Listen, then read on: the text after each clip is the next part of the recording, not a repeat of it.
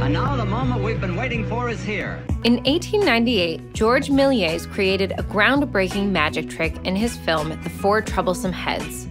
Audiences were perplexed by this illusion, which used multiple exposures combined with matte paintings to duplicate the magician's head. Soon, other filmmakers were combining images in order to tell more complex narratives. For example, the film The Queen of Spades employed split screen to contrast a man's dreams with reality. The same technique was used again almost 100 years later in a heartbreaking scene from 500 Days of Summer.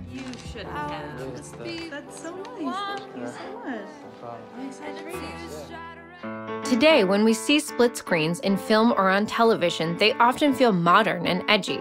However, in reality, humans have been experimenting with the juxtaposition of images for centuries.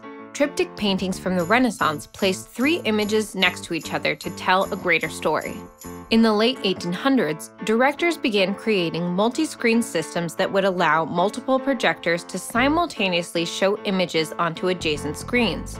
This technique was called polyvision. However, this proved expensive and difficult to maintain, so instead, filmmakers focused on combining multiple images into a single frame. One invention, a split focused diopter, allowed half the camera lens to focus on the foreground and the other half on the background. The result combined two images that otherwise would be impossible to see in the same frame. Another option combined multiple images in post production. An optical printer allowed filmmakers to re-photograph different shots and combine them into a single image called the composite. If you combine the two images seamlessly, it can create an effective visual illusion like the Four Troublesome Heads or the most influential cinematic achievement of all time, The Parent Trap. Actually, I'm not Hallie. Actually, I am. Both of them? David Fincher often uses a similar technique to combine multiple takes. Says frequent collaborator and editor Kirk Baxter, I tend to do a lot of invisible split screens. In a two shot, I'll often use a different performance for each actor. We might adjust a take for timing or add a bird flying in the sky from a different take just to add that little something special. Alternatively, editors can intentionally call attention to the borders dividing the images. This technique is frequently used during phone calls, which can be traced back to the 1913 film Suspense. One particularly fascinating phone call scene can be found in the film Indiscreet from 1958. At the time, film code prevented seeing a man and woman in bed together. This scene cleverly subverts the rules. There are moments where the couple appears to be holding hands, and even a moment where Cary Grant seems to pat Ingrid Bergman on the bottom.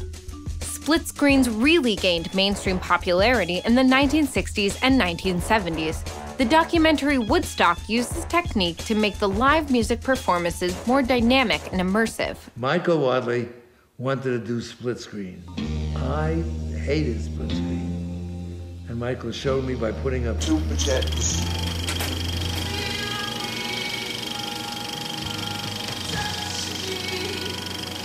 And I looked at the Who and I flipped out. And I said, okay, Michael, it's terrific. Go ahead and do it. Brian De Palma also helped popularize split screens by using them extensively in his films.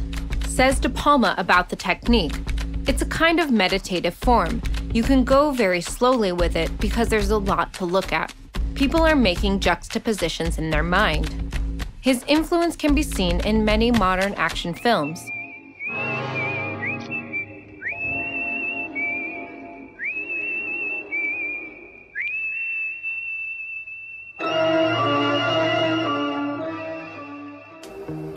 So, what's the future of split screens? Directors have used the technique in almost every genre, including documentaries, superhero films, music videos, heist movies, dramas, musicals, and comedies. How often do you sleep together? Do you have sex often?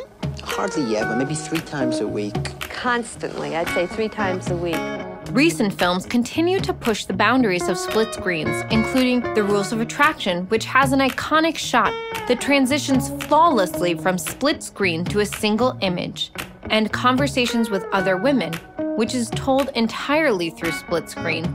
While the idea of split screens may not be a new one, The technique continues to evolve as directors find new ways to encourage their audience to make complex connections and understand their films on a deeper level.